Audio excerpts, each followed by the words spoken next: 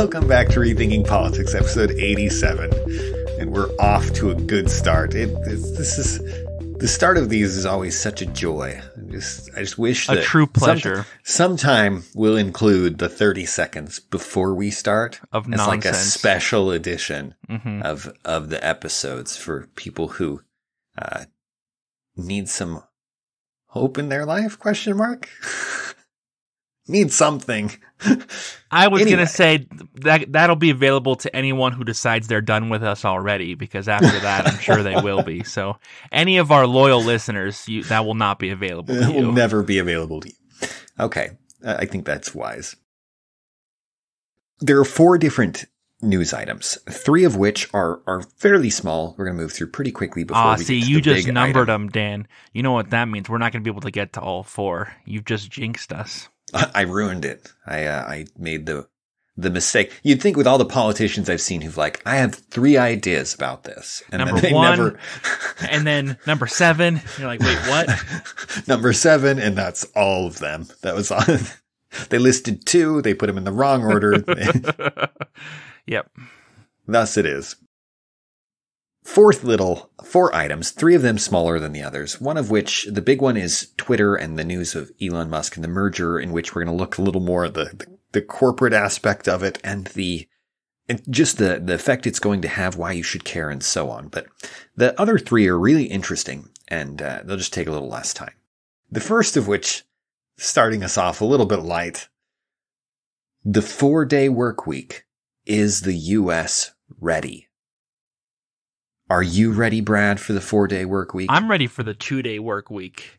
You know, I really think I can start working that extra day. You know, let's make it happen. I saw this headline, and that was the title of it.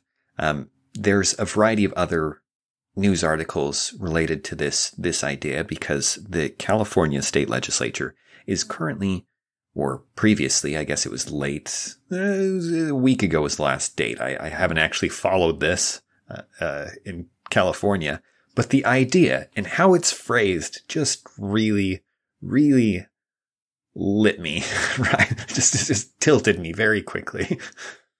Is the US ready for a four day work week? And I think Brad's response there sums it up pretty well for all of us. I'd prefer zero days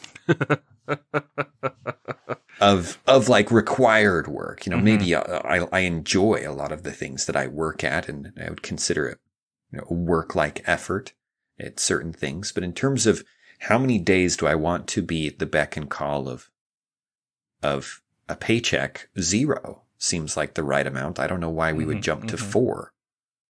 Yeah, while while we're talking, you know, what we're ready for, let's go all in here. Yeah. yeah. Yes. If I can, if I can be blunt, I would prefer zero. Is that an option? this is just the reason this upsets me is because to phrase it that way is to fundament, funda- is to fundamentally misunderstand the way the world works at a basic level. Of course, that's what we want. Of course, we'd like to work less in terms of, as I said, it being the, the normal negative aspects of work. We don't want those. But why, why is that a group question? Mm-hmm. Why is it that that's not a question that I'm asking myself and people who are willing to pay me, you know, or exchange goods and services with me? It's, isn't working less mean I get paid less?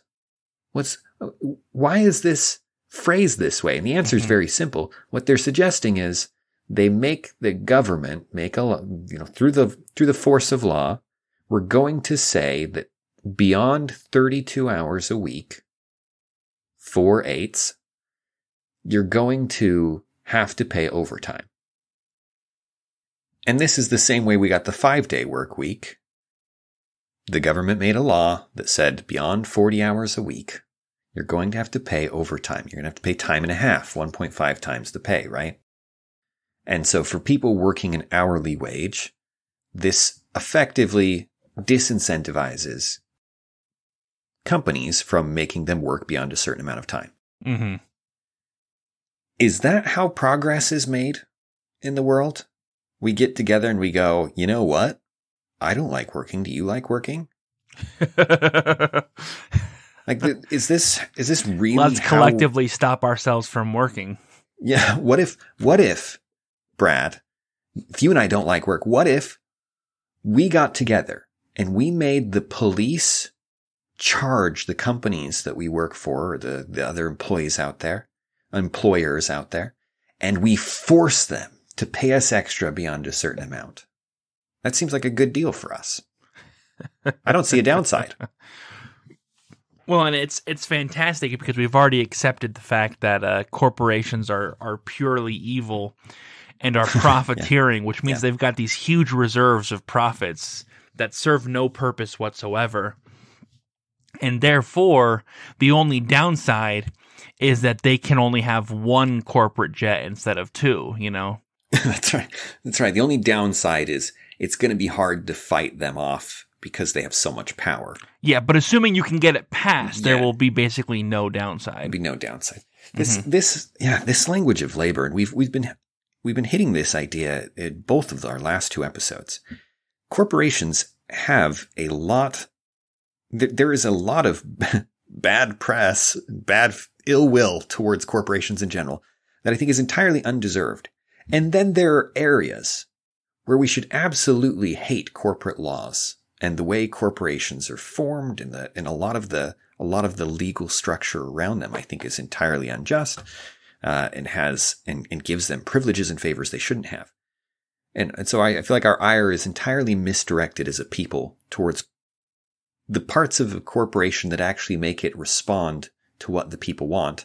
Mhm. And when it should be directed towards some of the laws that are under the table that we just we just don't see and don't think about. Um, but again, here this is this is one of those cases where the simple it's this simple view of pro labor where the businesses are powerful and big and so they are corrupt and evil, which there is some correlation Mhm. in. I, power does tend to corrupt. And then you have the people, the working man who is just trodden upon and and needs to be defended. And the way you do that is through the force of law in which you you get progress by doing this kind of thing. This is this is labor movement mentality. It goes back to uh, Teddy Roosevelt uh, talking about the square deal, and I'm sure you could trace it back farther. But Teddy Roosevelt to Woodrow Wilson to FDR are kind of the big, the, the Mhm. early genesis of it is a popular thing in politics. Uh, before that, you could see it in the states, states like New York, and the the way laws developed there because of the labor movement. And anyway, it, it's got a it's got a long and checkered history, but but it's so what so simple, mm-hmm. so two dimensional. It really is. Especially especially because the the world is not made up of giant corporations and employees. It's not that simple. There's so much more to it than that. And in this case, let's assume that all our assumptions are right. That these giant corporations, all our assumptions, and I'm saying the general assumptions that go into laws people, like yeah. this. You know that that there's these giant corporations like Amazon and Walmart who have their giant coffers who could be paying more who this bill's not really going to wreck them, right? Mm-hmm. So this law goes into effect and, and Walmart and Amazon just start paying more, right? Problem solved. Well, not so much because Walmart and Amazon are not the only two companies that currently exist in California. I think there's at least seven. And and some of Assuming those they haven't been nationalized yet. I yeah, mean, exactly. The state no, hasn't taken no, but seriously though, there's a lot of small companies that are often local that aren't franchises, that aren't you know national companies that don't have those large coffers, which is why we always say we should support local, right? Support these local businesses who aren't making much of a profit. Except what's going to happen to those small local businesses who can no longer hire the three people they hired before who are all working 40 hours a week without paying them considerably more when they're just barely making ends meet right now. You know, what is that mom and pop shop supposed to do? Well, the answer is simple. They're going to close up shop and some of that market share is going to go to the bigger companies who do have the deeper pockets to make adjustments and deal with these restrictions. And I don't accept the premise that all of these big corporations are evil, all these underlying principles. But there is one principle here that's definitely at work, which is that larger companies are definitely more equipped to handle new government policies than smaller companies are. Yes. Because regardless of how these companies decide to deal with it, whether it's paying employees more or hiring more part-time employees or are changing up how they do business in some way to cover this change, that's going to be easier for a large corporation to do than for a small corporation to do. And that's something that time and time again means that the more government intervention you have in the market, the more you encourage just having a few giant conglomerates instead of having a bunch of small companies. Yeah, it's it's really interesting. that the labor movement comes out really comes out of Europe, and Europe never had the free market elements that the U.S. had. Uh, to some degree, Britain did for a time, but a lot of like like France and uh, and Germany and some of these places never really did. They went straight from from uh, kind of a feudalism into corporatism, into this this kind of crony capitalism where you get you get uh, businesses that are being massively propped up by the governments as, as these uh, public entities and goods that are, it, it just, uh, so many of the ideas that we're talking about here and that the labor movement is trying to address make so much more sense in the context of Europe. Mm-hmm. Because, because they were never seeing the things that we're seeing, but we, we just kind of import them, literally import them through the progressive movement that we were pulling from the, the German historical school specifically. Uh, uh, the students, the, the people that trained Woodrow Wilson and, and that later on influenced FDR and, and influenced Teddy Roosevelt back there with Woodrow Wilson. These people were, these people were largely Germans. Um, and that whole school of thought, uh, never really made sense in the United States, but it didn't stop us from taking it and acting like we were in exactly the same position they were. Anyway, it's a, it's a, it's a pushback against a system that is now here that wasn't here back then.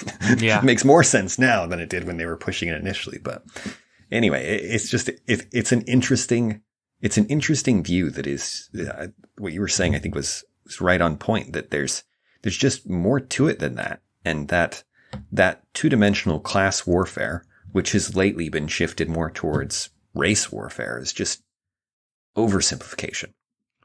It's oversimplification, and it's also a, a, a degree of self fulfilling prophecy. Yeah. That this focus on yeah. the large companies is, in, in a sense, making it so that there are only these large companies. Yes, yes. And we talked about unions the other day, right? By, by feeling like the only way to advance the cause of the people is through these kind of laws, you create uh, uh, you know, politics is a zero sum game. You push yourself into these situations where it's you versus them, or at least seemingly. And, uh, and that's just not the right way to go forward. You can, you can come up with ways to solve so many of these problems without doing that. I, I, well, one quick anecdote I, uh, struck me even as a high school student. I was in a high school economics class taught by a coach of some kind who knew nothing about the subject, right? small small school district in a rural area this is how it works you get you get the classes that no one actually knows and you get someone who likes sports who's teaching the sports at the school and they they teach these classes and it's, just, it's fine so he's teaching economics and he and he the teacher lists several problems in the world and he goes how do we how do we fix these problems and every student in there and this is fine with the high school students but uh, but the problem is this mentality continues. They go, we need, we could make a law that does X. And then someone says, no, let's make a law that does Y and, and so on. And, and the, the solution is always what law should government pass? What law mm-hmm. or regulation mm-hmm. needs to change? And it's just, there are just so many problems in the world and you can solve them. And by you, I don't mean go and get everybody to vote. I mean, you can solve them, right? We can come up with ways to solve these. That's how, that's how most of the advancements in, in that have bettered the lives of people throughout the history of the world have been made. Uh, we, we tend to focus on the, the seeming advancements of government, um, when so many of the problems were actually solved by people just trying to solve the problem. Mhm. And usually in a form that turned out to be profitable. Right? If you want to sustain sustained solution, it needs to make money that allows it to sustain itself and expand and grow. Hence business. Business is not inherently evil. Anyway, let me put the soapbox away and we'll move on. this is supposed to be simple and lighthearted, and here we are ranting. While I'm over here just thinking about Dan said four. Dan said four things. you were you were right to call call foul on the time. Okay, so the second one, number two. This one's more uh, news uh, than uh, than discussion, I suppose, about a political principle and viewpoint in the in the U.S. We'll see by the time we're done. We'll see. Fair enough. So, China is still dedicated to a no, a zero COVID policy. Meaning, as soon as there is the slightest, you know, as soon as there's a case, they go in and they try and stomp it out. Hold on, hold on, real quick. If China had been successful with the zero COVID policy, that would be fantastic. You, you didn't get my joke? Because Chi- No. COVID came from China. Yes, it would have been oh, fantastic if China had a zero COVID policy, because that's what every other country had at the time back in 2020. Everyone had a zero COVID policy, and China's like, you know what? Forget that. I would have got that joke a year ago. It's It has been a while, yeah. It's been a while. I, I forget the this story's just gone So- through so many phases. So they're con- they're continuing with the policy that has failed to the world's continual suffering. Where else continues? Yeah, so their their goal is so anytime there's an infection, they try and stomp it out. They they go in and they use a significant amount of force to to stomp it out. And the big the best example of this is Shanghai. So in Shanghai there were a number of cases. Um, I don't I don't know the numbers. I didn't I looked at them, I read the numbers. I'm not sure it's even worth stating what the numbers said because I'm 100% sure it's BS. They're not going to give you the real numbers. There's no reason for them to give you the real numbers. And the Chinese government is the only people who could give you numbers at all. They're Yeah, not there's, there's letting no teams of accountability. Yeah, Right, right. There's there's no other source. It's going to be BS. So they've locked down Shanghai. They locked it down four weeks ago. Parts of it, not all of it at once. There's a river that divides it. Uh, this is a city of 25 million people. Massive. And when we say lockdown, what do we mean? They didn't say you need a good reason to go out of your house. this was not a U.S. lockdown. No. No. They have literally installed metal barriers in front of places for a variety of reasons. Not, not every house, but like, like in front of doors. You're in an apartment complex and you wake up one day and you look out your window and there is a metal fence barricading you in. It's insane. It's, that is, that is a level of commitment that you're not going to see for good reason from any Western country. We're just not going to do that. Is, is egregious as, uh, I mean, I suppose Australia got somewhat close. They had like roving bands of police officers like patrolling to make sure you stayed indoors. But this, this is truly dystopian stuff. No, and honestly, that that not honestly, but uh, maybe that's part of the problem is that China got jealous with how you know totalitarian Australia was being, and they were worried that the mantle of worst country in the world besides North Korea, which is the mantle China's had for a while, was going to be stolen from them. Yeah, they don't want to be third. They'll settle Exactly. for second. Yeah. Yeah, that's a good point. Australia really, really reached, punched above its weight in terms of just sheer dictatorship there for a Mhm, while. mhm. It was with their camps and whatnot, which we've talked about before, which is crazy. So they're barricading people in. You can, you can see videos online of, of citizens yelling at f- city officials and people who were able to move about, whether they're truckers and different things. There's different groups of people who were able to go around, people building fences apparently, yelling at them things like, I'm hungry. Because the obvious problem is if you can't leave your house, where are you getting food? What are you doing for income? What, what, you know, how is, how are the economics working out? Well, the good news is the Chinese government was willing to shoulder that responsibility entirely.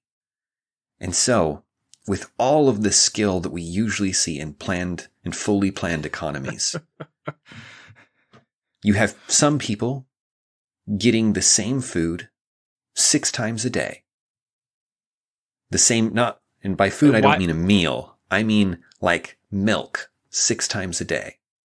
And other people getting nothing.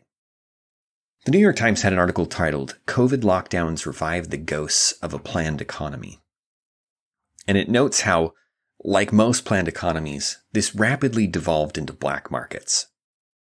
People want food. They're not going to just sit there and starve, right? And, and the government is not going to deliver it. There's, if there was any question in your mind that China could manage this, 25 million people. The food is in stores. Some food is in stores. Shipping's shut down. The problem, Dan, is is about success rates. You know, um, KFC has has a has a supply problem because they need chicken and it needs to be fresh to a certain degree, and and they need it in time and they can't have too much and it and it becomes a logistical problem that you don't have with companies like McDonald's where the food is packaged in a much more stable form. And as a result, KFC occasionally has shipping issues and they run out of chicken and they have to close their doors or not have chicken. It's something that happens occasionally with KFC. It's one of the, it's unusual for fast food restaurants, right? But it happens periodically, not all the time. It's pretty rarely. Like 99% of the time, KFC is just fine. But every once in a while, there's a hiccup and you'll have KFCs. I mean, it happened in the UK where you had KFC closed for like a week because of their supply chain issues. And I bring that up because even in the free market, having any one company do anything perfectly doesn't happen. You know about Amazon. Amazon, sometimes packages don't get delivered. And in fact, it's thousands upon thousands of times because they're delivering so many packages. And then you go and you reorder the package and you get your thing later, right? The problem here is that now you have one entity. Well, there's multiple problems, but at least one of the problems is you have one entity providing for the food for 25 million people. And unlike Amazon, they don't have a fantastic policy where you can get a new one the next day if it doesn't show up today. And so the problem is, is even if they're doing it 99% of the time, they're doing it correctly. That still means you have thousands or even hundreds of thousands of people who aren't getting the care and the resources they need in order to live. And that's a huge problem. And that's one of the main problems with planned economies is that you only have one planner. And so any mistake they make is amplified tenfold and a hundredfold versus in the free market. If KFC doesn't have chicken, guess what? You can go somewhere else. You know what I mean? You've right, got other right. options. It's not just KFC. And that's the problem with the planned economy. Right, and they're competing, and so any anytime a, uh, someone else makes an error, that's an opportunity for a business to capitalize and increase their market share. Yeah, and as they yeah. capitalize, their what they're really doing to... is helping fill that need.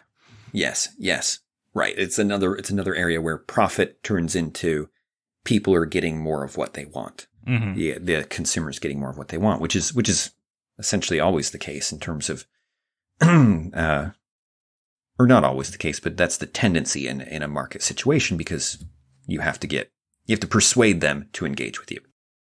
Um, yes, uh, one of the other things there of note you kind of touched on there is the, is the information problem. Where is the food? It's, it's in stores and things. Uh, they've halted shipping to a large degree. You have to have certain special permits to be able to drive trucks through and around the city. Um, and so the food in the stores, how do they get that from the people to, from the store to the people who are hungry? Mm-hmm. It's not as simple as just going to the store and grabbing everything and then distributing it, right? You, you, you don't know how much food is there. You don't necessarily know how many people are in any particular place. Mm-hmm. Uh, how, how reliable are their numbers on, on such things? Right. This is a, so much of this suddenly, so many of the problems that an, an independent human being takes upon themselves, suddenly this government entity has to solve all of them, and they simply don't have the information. no, and, and, and yeah, because the central planner may have forgotten about a whole neighborhood that needs food. In a market, that neighborhood's not going to forget that they need food. You know what I mean? People have a great understanding of what their own needs are, but I don't understand the needs of even, you know, this small city that I live in, let alone 25 million people. Right, right. You're, it would, imagine being in the city and you need medication. What, how, how on earth is that going to get to you? Who on earth are you going to contact? This, this is not just the problems of a planned economy, which are massive. This is the problem of a planned economy that's assuming the responsibility in an emergency, like just mm-hmm. abruptly. Right? This is, mm-hmm. it's, it's terrible. And there's, China is going to, I wouldn't be surprised if they actually faced real riots, uh, which is not common in China, real pushback because starving people are going to have nothing to lose. And, and there's a growing number of them there. Um, should, if, if you want, want to see something just amazing, you look up, look up some of the fences. It's just crazy. Just crazy to think about. Like you, you were just barricaded into your home by some person working for the, working for the state. It's a, it's a terrifying thought. There's a lot of news about this. Uh, in the long run, what this is resulting in, or, or what this ties into, I guess, this is, this is a partial cause of a bigger economic problem with China that we've addressed. This is, this is aggravating the fact that China's, a lot, so much of China, China's investment is malinvestment mm-hmm. because their economic system is bogus. People seem to think that it's the future. It's not. It's the past. It's full of holes. It's got massive amounts of problems. And this is aggravating it. And what's happening in response? Investments are pulling out massive amounts of money that had been invested in China from foreign groups are leaving. Um, there's another cause of this, which is that the Communist Party has a bad tendency recently to simply seize investments. Be like, oh, hey, thank you for the money. this money that you invested here is actually not leaving China. And if you try and pull it out, we're just going to take it. Uh, and that's obviously not a good look either, but China, for a variety of reasons, is becoming more xenophobic, uh, more closed to the outsiders. And people are rightfully withdrawing their money from their various investments there. Third point. We're doing great, Brad. We're, we're, we're on track, mostly. the third one is about Disney in Florida. Who knew that this would be a topic that you'd one day hear discussed in terms of politics? Tell me about Disney in Florida, Brad. Will I recover? Deep breaths. You're gonna be okay. So, so the the Disney in Florida debacle begins with House Bill 1557, 50, 1557, Parental Rights and Education, which has been dubbed the Don't Say Gay Bill which I'm sure yeah, everyone. I didn't even know what the now. first title was. I know the second one. I know that one of these titles is not like the other, and since there's only two, it's obviously both. So that was poorly phrased. Um, one of these is not like the other. Well, I like that. I like that. This is this is one of these is not like the other. Easy mode. You put two things that are not like each other, and and either way, you're right. This is, this is the, the preschool edition of that game. Oh my goodness. Anyways, this bill, which apparently bans saying the word gay, as far as anyone knows, you know, I don't know anyone who's actually went and looked at the bill. We went and actually looked at the bill, and it's a bit more nuanced than that. The there's a couple of things that it does. It changes how school boards adopt procedures about information. It changes the information they're required to give to parents. It changes uh, different procedures and things like this. Blah blah blah blah blah. Right? There's two right. main things. None of those are related specifically to uh, LGBTQ stuff at all. This, all the procedural changes yeah, are. Yeah, parental notice is not a direct infringement of of LGBTQ, and it wouldn't be attacked. Right? But what is attacked is is you finally get to line 97, the section 3, and it says classroom instruction by school personnel or third parties on sexual orientation or gender identity may not occur in kindergarten through thir- grade 3 or in a manner that is not age appropriate or developmentally appropriate for students in accordance with state standards. In other words, when you actually get down to it, what it's saying is that teachers or any other person brought in to teach in a class cannot school personnel or third parties. Yeah, cannot teach about sexual orientation or gender identity through grade three. So starting in grade four, as long as it's age appropriate or developmentally appropriate, then they can start teaching it. But up until that point, they can't. In other words, they don't want eight year olds being taught sexual orientation or gender identity. This doesn't mean that children can't establish their own gender identity. It doesn't mean that teachers can't use preferred pronouns when referring to students. It just means they can't have classroom instruction, which is not nearly as extreme as people might think the law is going to be, considering the uproar that it's that it's raised. That you've got this this conservative state that's passing relatively mild conservative ideology in their education system. Which, you know, on a side note, this is how public education works is that it's education that the majority of the public thinks is appropriate. And so when the majority of the public thinks that gender identity shouldn't be taught to young children, it makes sense that gender identity won't be taught to young children.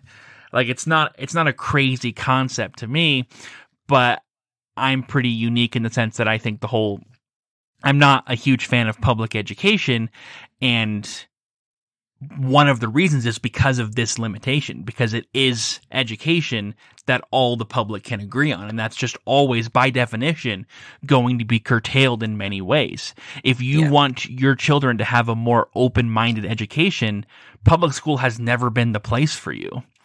So so look somewhere else and then, of course, the last part of the, the bill actually allows parents to bring um, legal action against the schools if they meet certain criteria. And that is another significant change. So this bill passes. It's not nearly as extreme as people make it out to be, but it quickly becomes an LGD.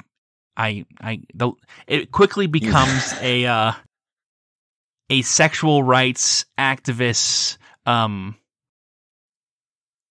lightning rod, I guess you could say. That, yeah. that, people are quickly rallying around fighting against this mostly because of the principle of it. Because the principle here is whether or not sexual identity should be a part of school curriculum. And obviously, the sexual rights activists are saying that no, from any age, it needs to be a core part of curriculum that they're teaching teaching these children different sexual identities. Yeah. Can I just interrupt you for a quick second? No.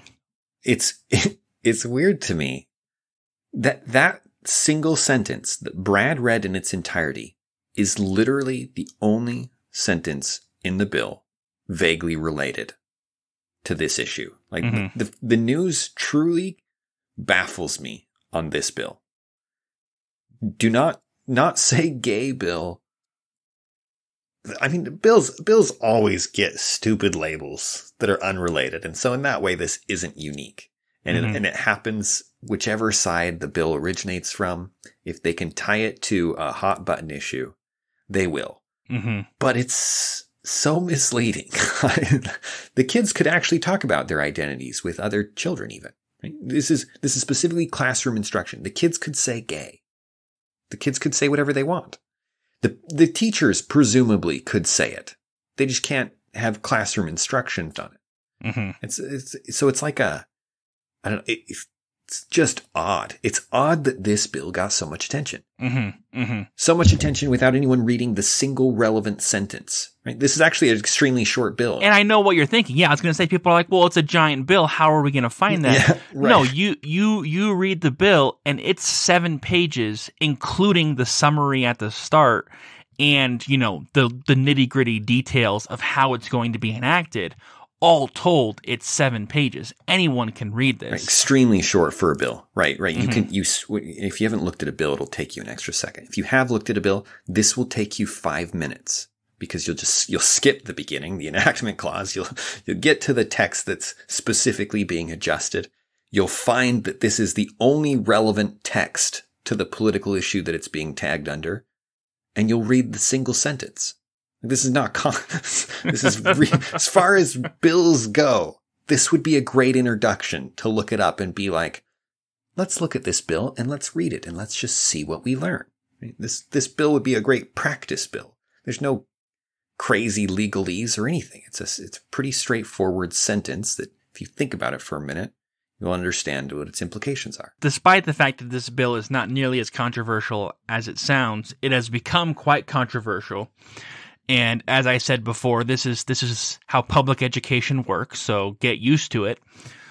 Um and also let's look at alternatives to public education where we can have different yes. kinds of education systems for people who want different kinds of education for their children which if you want to learn more about that go back and listen to our our uh, vouchers episode talking about alternatives to education yeah charter even, schools yeah charter things, schools yeah. and things like that um but as it stands the, the the bill passed it's going into law and after the fact there there was a kerfuffle with Disney where the the you know Disney didn't do very much about the bill, which takes place in Florida. You know, you've got Disney's Disney World in Florida, and then after pressure from Disney employees, Disney comes out against the bill after it's passed. So obviously, it's not really going to do anything, and they're just making a principled stand in order to not piss off one of the most powerful communities in the US, right? Pretty straightforward in terms of how companies navigate the political waters. Disney doesn't want to get canceled. So they're just covering their butts. I'm not aspiring, I'm not attaching any moral judgment. Moral judgment yeah or moral praise. Like i don't think they have this principled you know the ceo and the executives of disney are like oh yes this is what we care about more than anything in the world. No they're just they're just doing what they can to survive in this climate. Um is my two cents on it anyways. There are activist employees of disney as there are of any company seemingly today. But the the ceo does seem to just be trying to navigate the choppy waters. As a result of this, you actually have uh, DeSantis, who is the governor of of I was gonna say California of Florida, who, as a retaliation to their response to the legislation that was passed, attacking Disney. And how they're attacking Disney is interesting. First of all, the fact that DeSantis is pretty clearly explaining that the reason he's doing this is to attack Disney because they attacked him is disgusting. Is just is just ridiculous. It's disturbing. Um here's here's a quote from from him that he said on Wednesday If Disney wants to pick a fight, they chose the wrong guy. I will not allow a woke corporation based in California to run our state. Disney has gone away with special deals from the state of Florida for way too long. Disney thought they ruled Florida. They even tried to attack me to advance their woke agenda. In other words, it's pretty clear, and this is as as he's responding in with law, he's responding in words, thus linking them to oh my goodness. Words are hard linking the two of them together pretty clearly. Like I thought people were were putting words in his mouth, making it sound like he no, he he said it. He said it. He's retaliating, and how he's retaliating is by removing a special status that most of these articles have called a special tax status. And they're like, "Oh, does that mean they don't have to pay taxes?" No, Disney pays considerable amounts of taxes in the state of Florida every year. They pay a lot of taxes. But what happened when Disney World was first created is they struck a deal with the state of Florida and they created what's called the Reedy Creek Improvement District. And what it allowed them to do was actually create their own district as if it's a town or a county. And instead of going to the county or the town for zoning, for for kind of for infrastructure and all of these other things, they were going to take care of them themselves. And so what that means is that they're able to build new construction without getting it approved by the county. They're able just to take care of it themselves within their district. They're able to supply their own fire department to take care of, of things like that. They're able to have their own infrastructure, like roads that they maintain and take care of. In fact, they're even able to uh, raise money like a county does for themselves in their own area, um, which is just crazy. The whole thing is really weird. And, and something that you don't hear about very often, but no, in fact uncommon. But in fact, does happen on a regular basis. Not all the time, but it does happen. And so this special deal which basically allowed Disney to govern itself, is what I would describe as a socialist or an anti capitalist's worst nightmare of a capitalist dystopia. Not only do they have their own government, you know, where, where they govern themselves instead of having the, the, the state govern them, but it's not just a bunch of corporations, it's one single mega corporation that controls this area. And it happens to be, you know, the, the most magical place on earth, which I found quite, quite humorous. Yeah, just imagine a, a Mickey Mouse with red eyes here as we uh, so, so what you're saying, Brad, is that clearly all of the socialists, pro-labor people, anti-corporation people must are the hate. ones who are trying to take this down, right? Right, right. Yeah, because, it's, it's all because, the liberals in Florida who are trying to get rid of this restriction. Yeah. Mm-hmm. No. You've got, cause you've got a self-governing corporation Yes. within this district that has immense powers. And that's just taking care of itself. You know, they've got their own fire department. They've got their own yes, roads. Yes, and avoids they've, all kinds of things. Not all taxes, as you were saying, but no, avoids they, some uh, yeah, taxes. yeah. I mean, they paid about 780 million or more in 2021 in taxes in state Yeah. and local taxes. So they're still paying a huge amount of taxes. The biggest thing that it gives them is control. Yes. You know what I mean?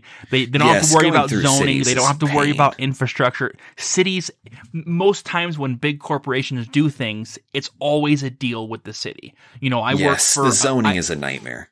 I work for a company, a, you know, a furniture company, and they wanted to build a warehouse in a city where they have a big store that does a ton of business, and they need to support that that store. The city wouldn't approve it. You know, they needed to make a deal with the city in order to make their warehouse, and the city wouldn't approve it, and so they had to change their plans. And I was like, they can't even build a warehouse without the city specifically approving it. I was like, Yeah, what they kind can't of just world? buy land. Yeah, they can't just buy land and build a warehouse. No, that's not the world that we live in. We don't live in a free market. We live in a weird quasi market that is all based on deals between government and business. That's just how the world works, except in the Re- Reedy Creek Improvement District and others like it. it is a magical kingdom. But but yeah, so if this actually passed, it wouldn't be as simple as it would sound. No, what would happen is the county governments that are nearby would have to take up all of those responsibilities. They would have to provide a fire department for Disney World. They would have to raise money through taxes to cover all of these new services they would be providing for Disney World. Like it's actually not a good idea. Like Disney is doing a fantastic job here and changing that may not actually make things better for anyone. In fact, it may increase the cost of what's going on. So why is DeSantis doing it? You know, as a Republican, why is this Republican controlled government passing this legislation as retaliation, which is insane? And now you've got all of these Democrats in Florida and elsewhere who are defending Disney and against the Republicans. and I just think this whole thing is beautiful because it's highlighting a few things for me. It's highlighting number one, Republicans are not actually pro business or pro capitalism. They are pro whatever they think will get them elected again. And that's why DeSantis is doing that. And so it pulls back the curtain and illustrates, and, and by Republicans, I mean Republican politicians. These Republican Yes. politicians don't actually care about the principles they say they do. And Yeah, The we're getting same- clo- Oh. we're getting closer and closer to Republicans who are uh, we're getting more Republicans and a turn within the party that we've discussed before that's going to shift towards Republicans who are like, we're going to get government power and we're going to use it. Mhm. We're going to use it to defeat our enemies in the same way we feel like liberals are doing it. Yeah, and that's exactly what DeSantis is doing. Disney is my enemy, so I'm going to use this government power to punish Disney, which is which is absolutely disgusting. But but so that's the first thing is it's peeling back that illusion and and and it's not just Republicans who are that way because here you have these de- these Democrats who are like, yes, we need to support Disney, this big corporation, against DeSantis because now Disney is on our side and DeSantis is against us. You know what I mean? It's Uh-huh. just sides. It's not about principles. But also, this is fantastic because it's peeling back the illusion that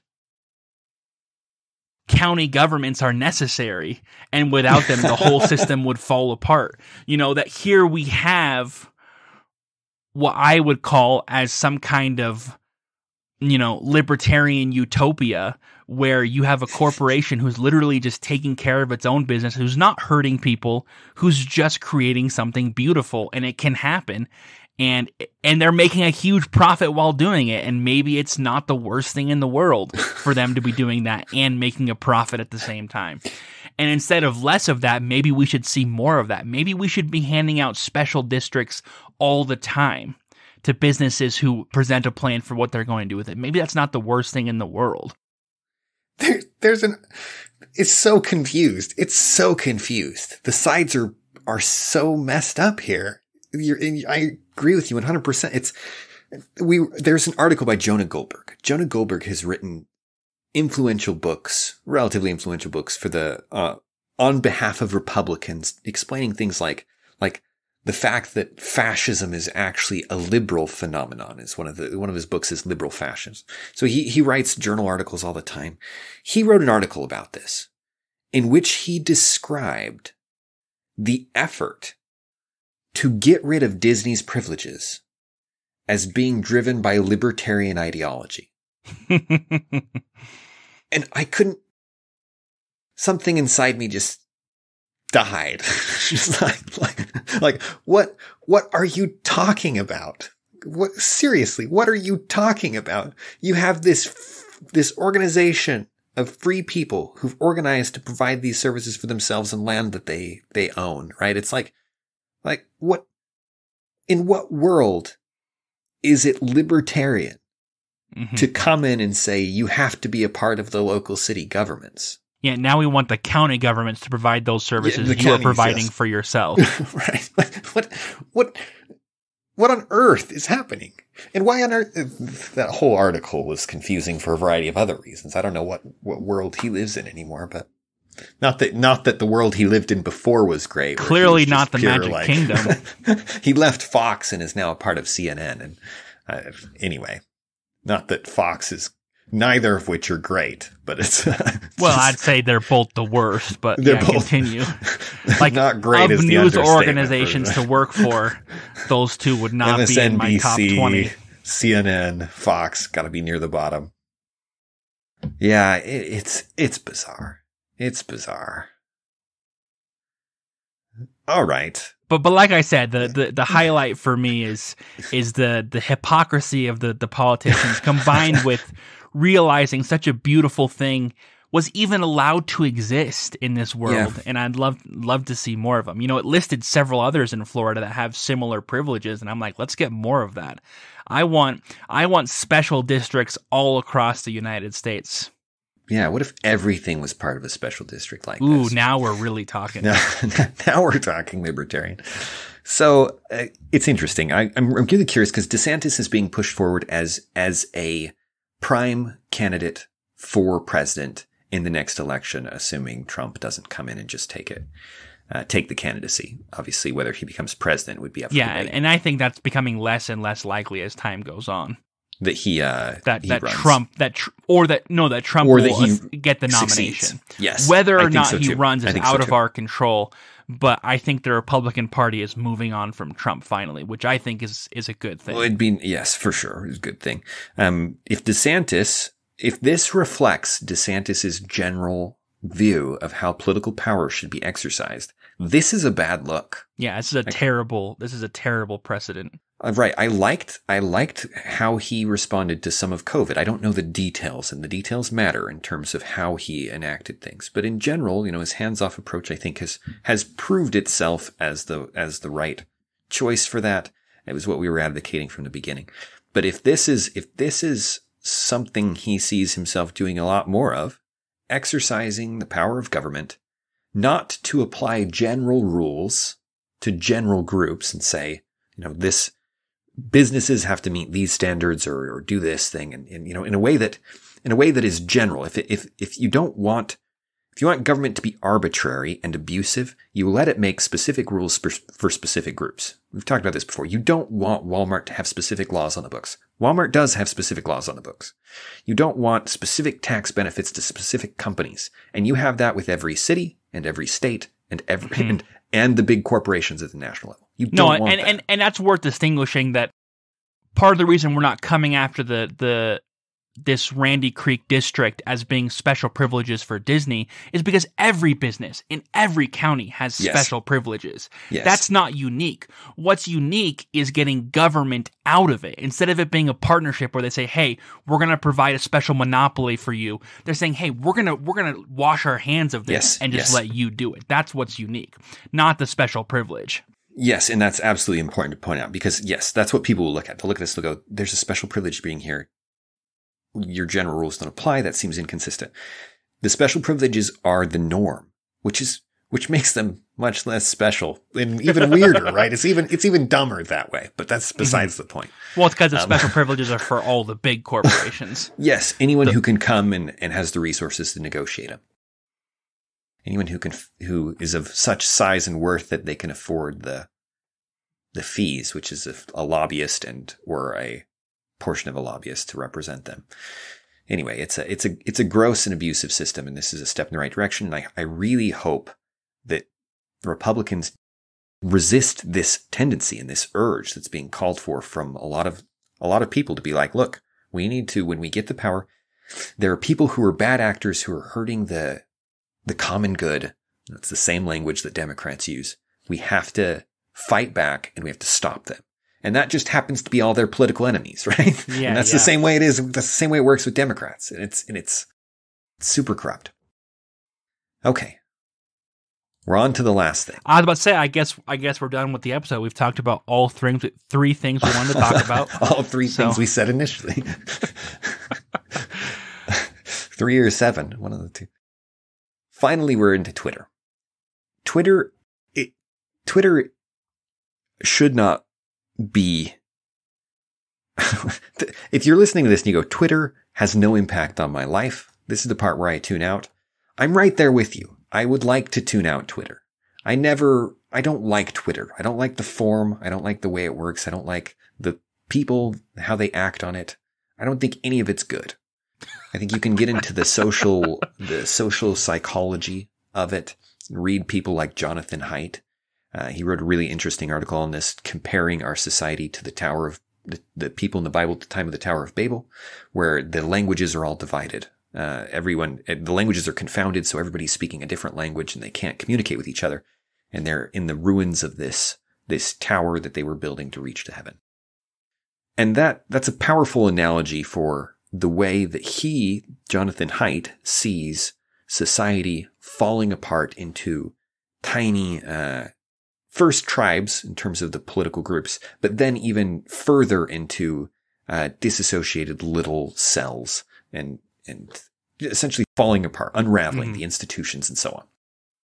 And Twitter, in this theory, in this social theory of his and others, is that is is a catalyst, mm-hmm. something that accelerates this and aggravates the problems through the forms in which you communicate. It, it capitalizes on negative aspects of human behavior and further deteriorates the trust in institutions and so on.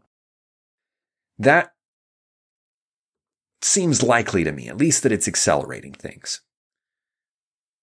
So why are we talking about Twitter? Twitter, because we said we had to talk about four things. that's right. That's right. We're obligated at this point. We committed, and now that I'm thinking about it, it was a bad idea, but we've already said it, and we're going to keep to our word you never back down in politics. It's, it's always it's always bad. Uh, apparently, you just double down, uh, no matter how stupid the idea is. So, no, but seriously, for some reason, despite its limitations, Twitter is where the influential people have decided to gather and talk to each other. There isn't yeah. a Facebook group of famous people. Yeah, in terms of social media, it's not Instagram, it's not Facebook, it's Twitter. It's this Twitter. is where this is where the powerful voices make their statements. And and again, it's it's weird. It's not the most popular. In fact, we we talked about it once. Isn't it like tenth the 10th most popular social media site. It's, it's bizarrely unpopular considering the weight at which it punches Uh-huh. in terms of authority and in terms of people of influence. So, Twitter is arguably where you go to hear news from influential people. It's, it's become a source of news and a source of statements and, uh, and discussions, despite the fact that it's designed to make discussions painful. Or maybe because it's designed to make discussions painful.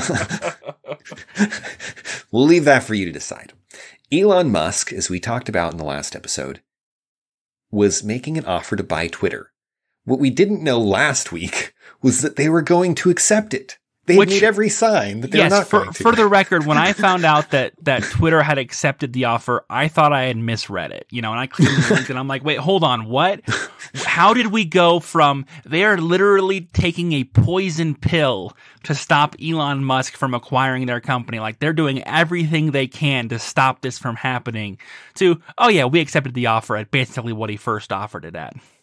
I'm like, wait, so what changed? What changed in these two weeks that I'm missing? Where the board goes from we're going to kill ourselves before we let you buy us to yeah, sounds good. Here's here's the contract. Done. Done. We'll, we'll do that. I don't know. There was a CNN article that was the first article I read about this that acted like this was what was expected. They're just like, like, uh, yeah, see, they decided to go ahead with the deal. It's like, wait, what? what? You can't just state that like it was. Where you had all these news articles talking about how Elon Musk wasn't making a real claim and how this would never work and blah blah blah. like everyone was on the same page. So don't Yes. act like that never happened. Don't don't try and erase that entire week from from our memory. It happened. I think this is uh, what they call uh, what is that? Gaslighting? Am I Your being your, fa- your favorite term, Dan. Your favorite term. I hate it. Well, you're the one who just used it, so where does I that put know. you now? I know. I listen to I listen to politics, and it's everyone's favorite term in politics. It's inevitable. It's going to end up in my vocabulary. I'm just going like, to feel "Hey." dirty every time I use it. I want the opportunity to be gaslit. I want to If be like- everyone else gets a chance to be the victim, you know, where's my chance? Yes, that's that's right. I found it. I found it. CNN gaslit me. Um, and yes, I was just making your non-victimization a form of victimization. Deal with that. the the layers here. So it happened. They accepted the offer. As Brad said, it basically the, the original price. In fact, I for some reason it was not the exact number, but maybe I didn't know the exact number. Again, there's there's corporate every time something happens in this exchange, I'm baffled. not per, partially by the decisions of the people, but that the decisions of the people usually make sense by the laws and the and the way that it actually functions. So there, the deal is going through. Now, there are certain things that must happen that may not happen, but the way people talk about it, they talk about it as if those things are inevitably going to happen and it's, and everything is basically set in stone. So I, and I have no, no knowledge at all of how these, the legal proceedings here are going to work. And so take that with whatever people seem to think this is happening. So I guess it's happening, but, um, Ultimate confidence. here's the thing there so initially there were a lot of heavy reactions from twitter employees twitter employees who do things like spend their time censoring comments and they're like i don't know if i like this if this is a good idea there was an interesting internal poll that actually found that it, that the split in terms of employees on whether or not they like the the acquisition was actually about 50-50 and that seems about right in terms of standard acquisitions. You're going to have a mixed reaction. hmm But the coverage is definitely going to be favoring the uh, anti Elon Musk side. You know, there's been lots of news corporations are happy to support the Yeah. freak out because that's more interesting. It is, yes. The anger is going to be more interesting. It's going to get more and clicks. and news news news media in general has done a lot of censoring themselves and so having Elon Musk come out and say that he's going to have Twitter be censor free is making some people unhappy. I think it was MSNBC who was who was concerned about Elon Musk's radical views on free speech that would allow all forms of speech and how dangerous that was. yes. Um, the the very clear pushback against free speech has never been so blunt. Has yeah, has never been so clear. Yes. Like it's so clear that they don't want free speech. They only want certain kinds of speech. And Yeah. that's a little bit disturbing. you know, they'll say things like free speech is racist. Yeah. Yeah, which is which is a change in language. Before they would say, yes, we want free speech, but we also need to to protect people from Mhm. hate, stuff like that, right? They, it was it was a both kind of thing. Now it's like, no, no, no, no, no. This is wrong. If this, this if this is what free speech means, that free speech is bad, um, which I think is a mistake in terms of their their marketing. I think that's going to get Yeah. significant pushback, but we'll see on that. But it's also refreshing to have that It level is. of honesty. Geez, we'll take the. This is why I like, uh, or at least initially, I guess I haven't heard much about her lately. This is why I like Alexandria Ocasio Cortez. I may disagree with everything out of her mouth, but she means what she says, which is Mhm, mhm. nice. You know, it's a change. Bernie Sanders too, right? Some of these, some of the idealists in the Congress are nice because of that.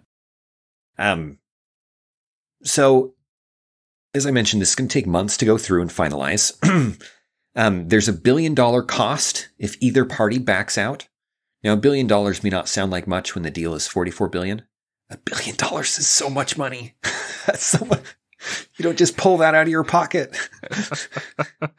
it's, it's, go ahead. I was gonna say I just remember a few years ago the first time hearing about a acquisition deal that was more than a billion dollars and how mind boggling that was. Yeah. Yeah. Um, you know, back when a few years ago when companies were being acquired for four or five or six billion dollars and they were like, You're gonna spend that much on this company and now it's Yeah. just a fee if the deal goes under. Yeah, and I know what some people are thinking. They're thinking, Elon, that is pocket change. Consider this. Rather than sell off stock to pay for this purchase, Musk took out, at least to cover, I want to say something like 22 billion of it. He took out a loan. Yeah, he got financing. He got financing. Uh, a loan in which he's going to be paying billions in interest over the years. Which, which is insane if what you imagined is that Elon Musk is sitting on hundreds of billions of dollars, right? Why doesn't he just pay for this? And this is the point we're going to harp on over and over again because people are so, I, I, they don't understand this at all for some reason. For Elon to simply pay for this with the money he has, he has to cripple his other companies, right? He has Mhm, to pull money directly out of them and put it into this company, which means that those companies are now worth less and they're doing less. They have less resources. hmm He's not, he's not sitting on a pile of money. These are productive resources engaged in the companies. So for him to acquire financing actually makes perfect sense. Now, if he fails to pay this loan, fails to make Twitter profitable, which actually seems likely, Which is a it's- possibility. it's never been profitable. Twitter is one of those companies that's managed to succeed despite the fact it loses money. It's definitely the most valuable company in the world that's not profitable. It's not profitable. The, You know, the it's- hope is always that a, It's amazing day- that you can create a product that's not yet making money and then sell it for $44 billion. that's the dream right there. You talk about profiteering. Everyone who hates profiteering has got to love Twitter because they're not profiteering. they're not. Pro- they're, they're supposedly trying but failing. I guess. I guess they've turned a profit finally by accepting Elon's offer. Like, hey, wait, there you go. Boom. we, we There's the made profit. money. That's right. Now it's his problem. It's his problem to make make money out of it. It was just a long, long gamble. They were just hoping to irritate a billionaire enough that he bought him out. It worked. So, It's one way of looking at it. 4D chess here. so, uh, um, they can, this deal can still be, uh, changed by someone else making a better offer. Someone makes a better offer. Elon gets the opportunity to make a counter offer. And if his offer is higher, they have to go with Elon. Again, weird corporate, uh, Mhm. Just the way the deal works. And again, I don't know how much of this is, is standard corporate law and how much of this is the specific agreement between them. And it's, and it's likely a combination. Um, it's likely all in the specific agreement, but some of it has to be there through law. Um, if you want to look at what Musk wants to do, um, oh, sorry, one, one more note on the contract because this is, this is, uh, people are already freaking out and saying that, that Musk has violated the terms of the contract. He has certain stipulations about what he can say and can't say about the merger. And Brad, you found something really important about this because there were a lot of articles we found immediately that were like, Musk has already violated the agreement. And if he violates the agreement, Twitter can back out and claim the billion dollars, Mm-hmm. which would also be another way it could become profitable. Just get money from uh, legal agreements with billionaires who can't uphold their end. Yeah, and, and when you actually read the wording of the contract, it's clearly not saying what everyone thinks that it's saying, and people are misinterpreting it in order to uh, to get headlines, news. you know, and, and the headline, you know, like for example, you know, you got a headline, Elon Musk already broke his agreement with Twitter. That's a great headline. That's a that's a headline that's gonna get clicks. But yeah, then you raises go the hope of everyone who doesn't like the, the deal and so on. Yeah, but then you go in and you, and you read it, and it becomes clear that actually the the expert they're referencing doesn't make the claims that they're making. He makes very careful claims, and this is a guy. Uh, I I'm not sure how to pronounce his name, but Raffi Melkonian, who's got these this ten point, uh, ten part tweet at least about all these sections of the contracts and what they mean, and they have taken one of one of those sections and misconstrued what he says about what the contract says, which is that Elon Musk is permitted to tweet about the merger specifically as long as the tweets are not disparaging the company or its representatives. And then they go on in this article and they're like, yeah, but Elon Musk has already made disparaging comments about Twitter employees. It's like, well, that doesn't matter because this is specifically talking about him talking about the merger, which is not what he's been talking about. Right. If All of it Elon Musk very- is not talking about the merger. Then he can say whatever he wants. He can make disparaging comments. It's it's Mhm. within the Mhm. context of discussing the merger that he can't disparage Twitter or its representatives. Mhm. And it's an extremely limited context. Which makes just- sense Yeah. because it doesn't make sense that Elon Musk issues a tweet saying, "Hey, Twitter's decision about this one particular issue was inappropriate," which is the tweet they're referencing. Him saying that action is extremely inappropriate should not be enough to blow up an entire deal like this, and it would be insane for it to blow up a deal like this. Yes, yes. Yeah, the, the general rule is something like, uh, the general corporate law rule is, is something like, um, you can't do things that would significantly impact the value of the company. Uh, at least the company can't. The Twitter can't do things. It can't suddenly go self-destruct on purpose. If Uh-huh. it did that, Elon would be let out of the deal. Um, and likewise, Elon can't disparage, uh, the, I- I'm not, I guess I'm not actually clear on why he can't, in the context of discussing the deal, disparage the company or its representatives. That seems odd to me, but that is, that is the wording and, and easily avoided. He just disparages them without talking about the deal. Well, well, it's interesting if you note the wording of that. It talks about how he's permitted to do it instead of him being banned from doing it. And I think it's because this is actually rather than being a restriction, is being a is actually a, privilege. permission. Yes, Because right. normally when you're talking is the about these high level deals, mum's the word that you don't want people saying very much. That's right. And so That's they're specifically saying, hey, Elon, you can talk about this merger as long as you're talking about it positively. And so I think that's why it, it can have that qualifier because it's actually kind of unusual to have this blanket permission that no matter that he can just talk You're about right, the merger without right. it causing issues. You're right. Again, that's a great point. That's a great point. You're absolutely right. That is a privilege granted, and that's why it's worded that way. So, in terms of what Elon Musk actually wants to do, or is there anything else you want to mention in the contract before No. we we will say what he wants to do with the company that uh, that has been so controversial? Specifically, he he tweeted an explanation of, of what he intends to do. I said that as if that was like a clever joke, but It's Not. it's not a clever joke. it's just going back to what you said before about how this guy just loves to tweet. And that and we know that's playing a role in the fact that he's acquired this company and that's just it's just weird. It's just weird that someone's hobby can turn into a 44 billion dollar acquisition. Did you know that Elon Musk really likes the Babylon Bee?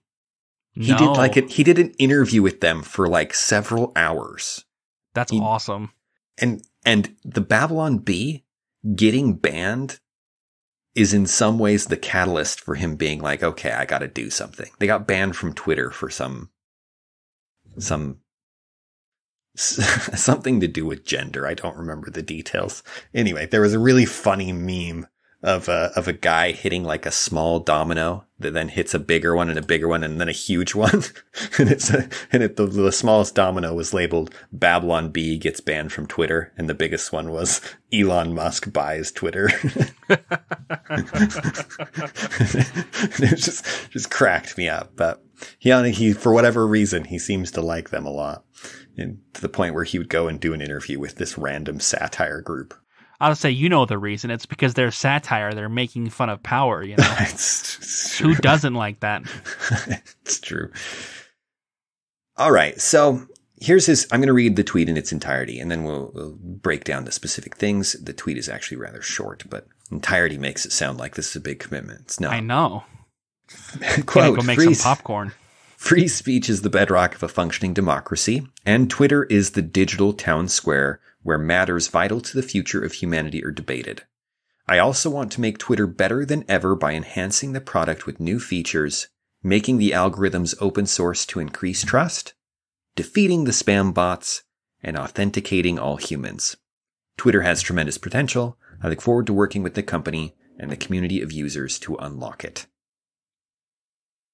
So we have free speech. It's the bedrock. He begins with that. He wants free speech. Free speech, of course, is going to be limited by the laws. The laws of the country that it's operating in. The EU in particular has stringent laws against things like hate crimes that affects what you can write and what you can't write. And mm-hmm. Elon noted specifically that he's of course going to abide by those laws in those countries. Yeah, so, but in the US, Twitter is definitely censoring much more than they're required to by law. That's and right. And that's something he can easily peel back. That's right. And he's clearly going to. That that mm-hmm. appears to be the point. He is ideologically driven in this case. This does not seem to be a money-making endeavor, though I think he he obviously well, he, plans yeah, to make he'll money. plan to it. make it profitable, but yeah, but this yeah, wasn't and, like the best investment opportunity in, tor- in terms of finances. Yeah, and, it, and it's worth noting as a, as a quick side note that that the fact that it's a private company allows him to be more ideological about it, and or rather, ideological is usually a negative term. It allows him to put values above profit. Yeah, because he's going to turn this public company into a private company. Yes. He's buying out all of the shares. He's not acquiring 51% of this company, so it's Yeah. still public, but he controls it. No, he's buying out the entire company and making it private, Yeah, he Which- can make unilateral decisions now. which is something that, that I'm all in favor of because I think we need more private companies and less public companies. Because public companies, first of all, are a misnomer, but they also have a lot of really weird incentives.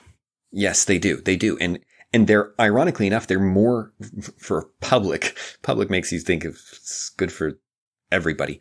No. Public is more profit driven, ironically enough. Um, they're more, much more limited. And, and to some degrees, it's because it was a public company that they almost had to accept this deal or, or they were uh, so obligated by the shareholder interest to accept this deal.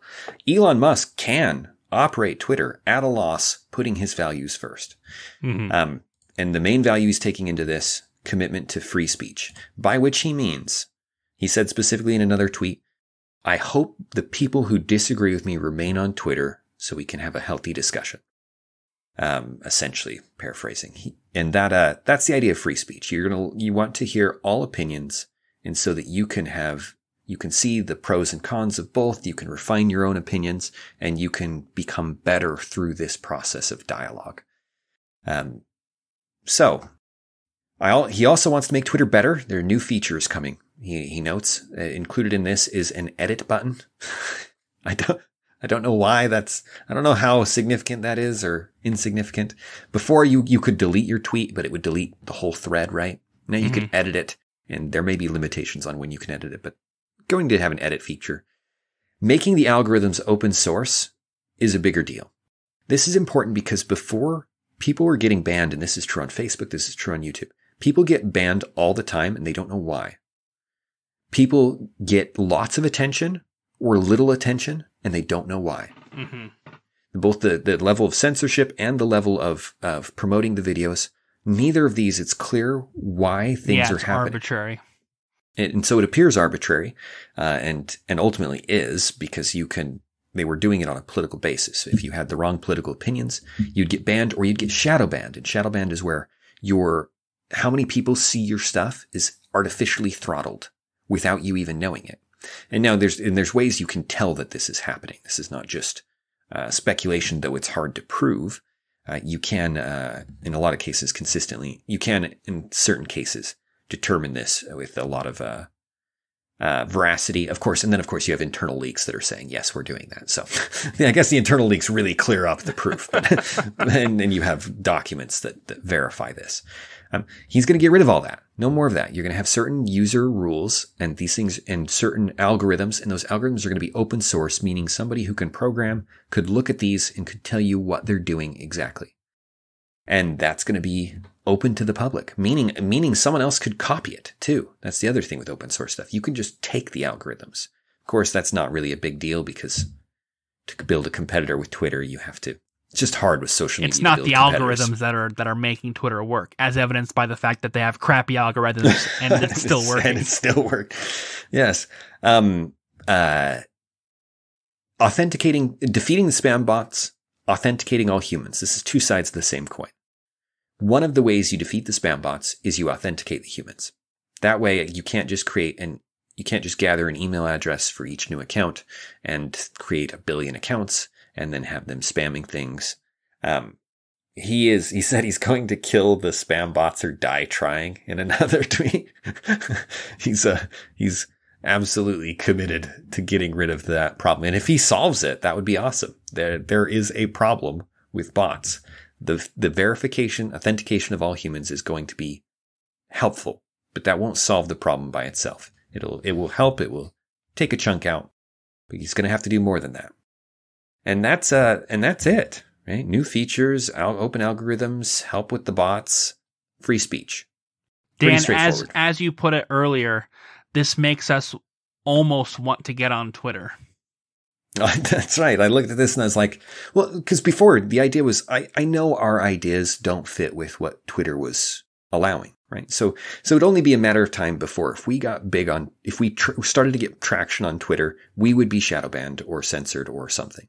I mean, it'd be, unless we were extremely careful. And I don't want to, uh, having to walk that line is just a pain. And even if you are careful, uh, often it happens because there's no clear rules, right? There's never any, uh, you never even get a, a why most of the time. You just get some basic customer service employee responding to you being like, Oh, you violated the agreement. Mhm, What, are, mhm, what are you talking about? Um, the real question everyone is wondering, the real question that some people are wondering, roughly 25% of the population, maybe 50% of Republicans is, will Donald Trump join Twitter? And I guess all of the liberals, but for different reasons. The answer is he's committed to Truth Social, which is his social media company, which is starting basically right now and which is just going to get absolutely destroyed by Elon Musk taking over Twitter. Which, guys, for the record, this is best case scenario because what we're going to have is a Twitter platform that is open enough that Trump could be a part of it and is not banned, but that Trump chooses not to be a part of it. and if that's not a utopia, I don't know what is. There's uh, people who are jokingly taking bets about how long it will be before he folds on Truth Social And, and comes back Twitter. to Twitter because he knows that his tweets will go back to being, or he hopes Well- or figures that well, they'll go back to being really popular. and it's hard to be the underground social media network that's about you know freedom when you've got someone like Elon Musk who's actually making Twitter free which by the way we talked about this before that we were excited about about these conservative efforts to have alternative social media and I still think they're you know there's nothing wrong with them at all and they're absolutely a great idea and more competition is not a bad thing. But it's going to be very hard at least in the Twitter area you know in, in this kind of social media to compete with what Elon Musk is doing. Absolutely it's going to be very difficult. Yes, really. Uh, the only hope is that, I, I think you could get a significant shift away from Twitter if enough liberals actually leave Twitter, as some of them are doing in response to Elon Musk's. And I'm sure they're going to jump on Truth Social. Yeah, yeah, that's the where would they go? Truth Social, Gettr, these other ones. These other ones have all been labeled as like uh, gatherings of racists and uh, paramilitary groups and things, and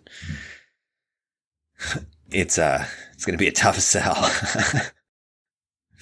anyway, that being said, I think I think Twitter will probably continue to be the place where things happen. I think Trump will eventually join it because Truth Social is not going to succeed. Now that e- it, it was probably never going to succeed. It's definitely not going to succeed now that Elon Musk is running Twitter. Assuming he doesn't, this whole thing doesn't just flop.